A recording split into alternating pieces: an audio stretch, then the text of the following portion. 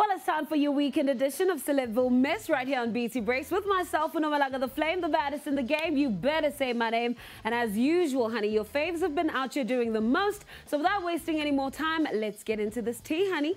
Defamed R&B singer Chris Brown is reportedly facing a hefty $20 million fine after an anonymous woman filed a lawsuit against him alleging that he drugged her and then raped her. Now, according to reports, the woman claims to have been on a yacht with Chris Brown back in 2020 where she claims to have been disorientated after the singer gave her two drinks and then allegedly went on to rape her.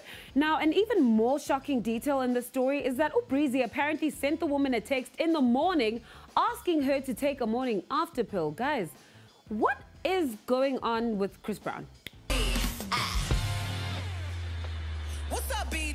Is there a beef brewing between Megan Thee Stallion and some of the baddest women in hip hop? Well, that seems to be word on the street after Megan took to the socials to unfollow Nicki Minaj and Doja Cat.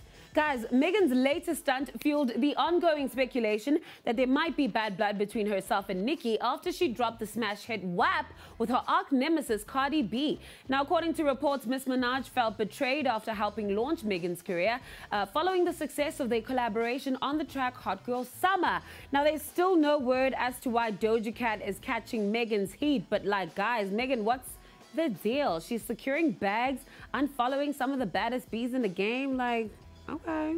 Back in Mzansi, local DJ Oscar Mbo was the name on everyone's lips after being called out for being a, wait for it, scammer.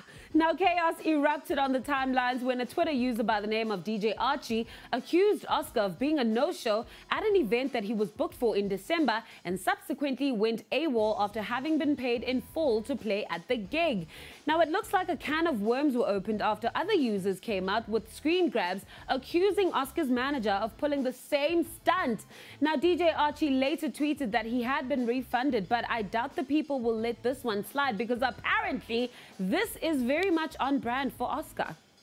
Over in the world of Kanye, the newly minted billionaire teased his upcoming release for Donda 2 that's set to drop next month, which seemingly coincides with his release of his documentary titled Genius, which has been in the works for the past 20 years. Now, guys, I must say that this is the kind of content that we as Kanye West fans want from him.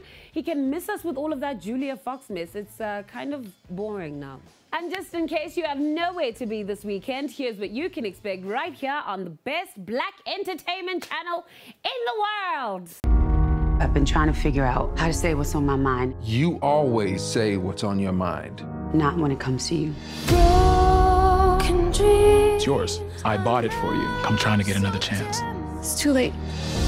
I, I can't do it. So, you playing? You look guilty as hell.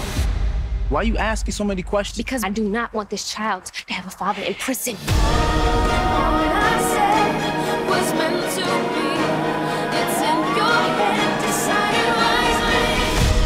Did you do? The less you know, the better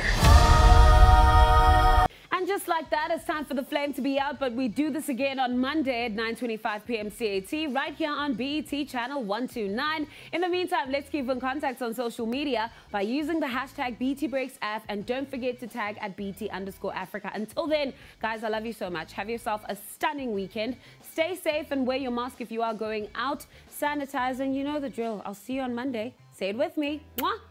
Bye, honey.